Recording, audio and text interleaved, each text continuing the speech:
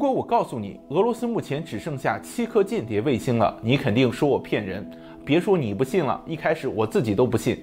但是当我去研究这个事情，特别是看到美国 Jamestown 基金会在二零二二年的文章，你就明白了俄罗斯航空航天衰败到了一个什么地步。我想很多朋友关于这次乌克兰战争，一定心里有个大大的问号。就是美国有间谍卫星，俄罗斯它也有间谍卫星。美国总能发现俄罗斯的任何动向，把他们的坐标告诉乌克兰，让乌克兰精确定位，打击俄罗斯的指挥中心和补给中心。可是俄罗斯也有导弹啊，俄罗斯也有精准火箭弹啊，俄罗斯也有军事卫星啊。为什么同样的事情俄罗斯就做不到呢？听了我今天的解释，您可能就明白了。那第一个问题啊。就俄罗斯的间谍卫星，它没有几个能工作的。那在很多朋友印象中啊，甚至在我的刻板印象中，都觉得俄罗斯是超级航天大国。那俄罗斯空中的卫星数量不一定比美国少。但是当我具体去研究这个事情，我就被现实狠狠打了脸。那俄罗斯航天大国的名称已经名存实亡。俄罗斯最近几年，从2018年到2022年，俄罗斯几乎每年发射一颗军用间谍卫星。但是没有一颗成功的，比如说，二零一八年发射第一颗间谍卫星已经失效了，二零二一年发射了一颗间谍卫星脱离了轨道，消失在大气层里了。那第三颗和第四颗都是在二零二二年发射的，其中四月三十号发射出去的卫星进入轨道后连激活都没有激活，重新返回大气层烧毁了。紧接着在二零二二年的十月发射了本年度最后一颗叫宇宙二五六零的卫星。那这颗卫星在十月十六日凌晨发射，在十二月十日不出意外再次坠毁。那生命周期不过两个月的时间。俄罗斯发射间谍卫星屡次失败，在轨卫星数量也非常少。那我引用的数据是二零二二年美国智库 Jamestown 基金会发表的研究，这个数据应该是比较真实客观的。那截止二零二二年十二月。俄罗斯军用卫星总共有一百零八颗卫星在轨，但这并不是说这一百零八颗卫星啊全是间谍卫星，其中有二十五颗是格洛纳斯导航卫星。那该卫星的作用和美国的 GPS 以及中共的北斗卫星一样，只是提供坐标用于定位的。那除此之外呢，还有四十八颗通信卫星，八个电子侦察卫星。那电子侦察卫星主要是在太空啊收集各种各样地面上发射的电磁波信号，本身并不是监视地面的功能。那除此之外，就剩下五个光学成像间谍卫星和两个雷达成像间谍卫星。除此之外呢，还有六个早期预警卫星，五个空间观测卫星，还有五个科技卫星。所以说，在总共这一百零八个卫星中，能够用于对地面进行侦察的只有五个光学成像间谍卫星和两个雷达成像间谍卫星，总数不过是七个而已。那这里我们多说一句，所谓的雷达成像，其实就是指的合成孔径雷达，它是发射电磁波，但是获得的是地面上的图像。它的成像原理和光学卫星完全不同，但是成像结果一致。都是获得地面的精准照片。那这七颗卫星难以形成覆盖全球的卫星网络。更严重的是，在这些卫星中，很多都是本来要退役的卫星，他们的技术水平和现代美国的精准度完全没有办法比。那根据 James Town 的这篇文章啊，俄罗斯在过去不得不依靠三颗民用的卫星来获得军事资料，但是这三颗民用卫星它也都在2022年退役了。除了卫星无法发射上天，数量少，俄罗斯目前科技水平也和美国有着巨大的差距。我们就说这四颗没有送上天的军事卫星，它们的分辨率到底有多少呢？那根据中文媒体的报道，这四颗间谍卫星它们的分辨率只有零点九米，也就是接近一米的分辨率。而美国最新发射的锁眼侦察卫星，据说分辨率能达到零点一米，有可能会更高。那这个技术水平的差距实在是太大了。那可是，就算这样分辨率的侦察卫星，俄罗斯依然没有办法送上天空。你让俄罗斯军方怎么侦察？分辨率一米和零点一米差距是非常巨大的。那说句实话，一米的分辨率，地上什么东西都看不清啊。我们举个例子啊，乌克兰和俄罗斯都在使用的 T 七二主战坦克，长是七米，宽是三点六米。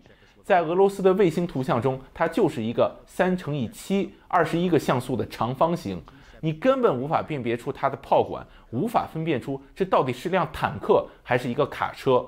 那我们再看看卡车，美国的战术卡车长大概是十米，宽是二点四米，在俄罗斯卫星眼中，它就是一个三乘以十个像素的长方形。你也是长方形，我也是长方形，我怎么知道你是卡车，你是坦克呢？那俄罗斯卫星图像质量就像一个近视眼的人没有戴眼镜去看外面一样，所有东西都是糊的。那说句实话，以俄罗斯现在间谍卫星的技术水平，根本无法对战争有所帮助。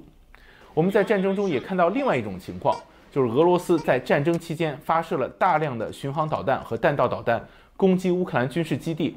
这些导弹很多都打偏了，并没有打中目标，没有打中飞机，甚至没有打中跑道。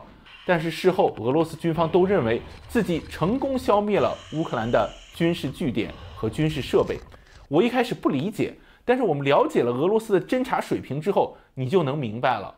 美国如果对敌方目标进行打击，会使用间谍卫星来侦察打击的效果。如果效果不好，我们再补充一轮打击，也会研究打得不好的原因，下次我们再提高。但是俄罗斯的侦察卫星它完全起不到这个作用。我的空军发射导弹打击敌方空军基地，但是我的侦察卫星什么都看不清，我根本就不知道导弹有没有打中跑道，这就导致一个非常严重的问题：俄罗斯自己都不知道自己的战果是真的还是假的。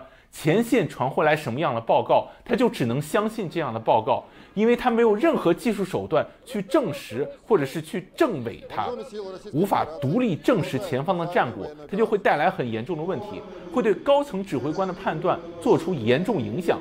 在乌克兰开战头两天，俄罗斯高层坚定不移地认为俄罗斯在打胜仗，乌克兰的空军被消灭了。乌克兰的防空设备全部被消灭了，它就很显然是俄罗斯被自己前线无限夸大的战果所欺骗了。所以，我们到头来就发现，俄罗斯这样一个政治和军事体制是下面的人欺骗上面，上面的人欺骗下面，谁都不知道谁说的话是真的还是假的。我们综合来看啊。俄罗斯目前的间谍卫星数量上七枚，严重不足，难以覆盖全球；质量上也不行，清晰度能不能达到一米都难说。在这样的背景之下，俄罗斯间谍卫星最多也就提供一些照片，很难像美国的间谍卫星网络一样，形成一个对全球进行二十四小时监控的侦察网络。这就解释了为什么在乌克兰战争期间，俄罗斯的军事侦察似乎没有任何用，而美国人在不断给乌克兰提供军事情报。输送重要地区的明确坐标。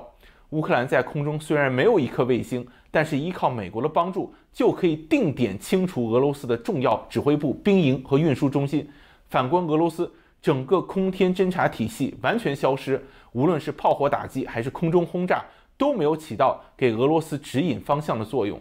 那这次乌克兰战争真的是把俄罗斯这个纸老虎打回了原形。不仅空军从天上消失，连曾经引以为傲的航空体系也从战争中消失。那这背后又有哪些原因呢？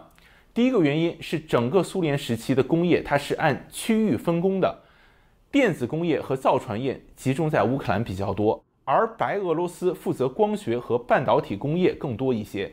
在前苏联后期，整个苏联地区的电子工业和光学工业水平和西方国家已经有了极大差距。苏联解体之后，苏联仅存的这些家底也留在了白俄罗斯和乌克兰，这就导致俄罗斯在这些技术上和西方国家存在着无法逾越的鸿沟。那特别是光学和电子工业，虽然你看它很小很不起眼，但是在设计和制造上差之毫厘，结果就可以谬以千里。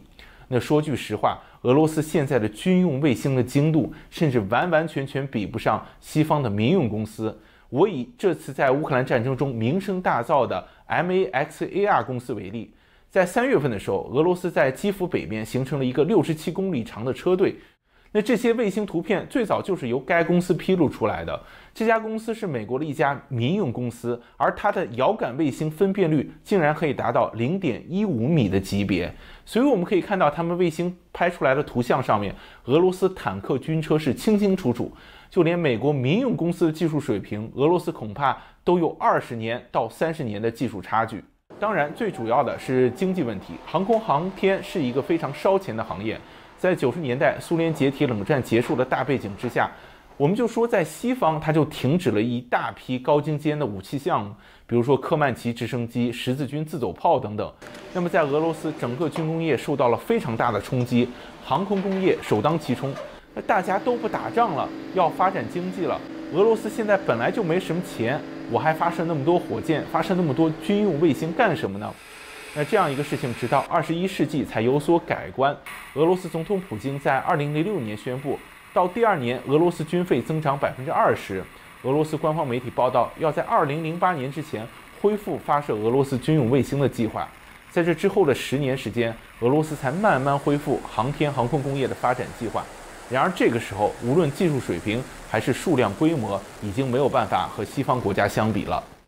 我们今天主要和大家谈了俄罗斯的间谍卫星体系对乌克兰战争产生的直接影响。很多观众朋友可能会很好奇，美国的间谍卫星网络到底是什么样的规模呢？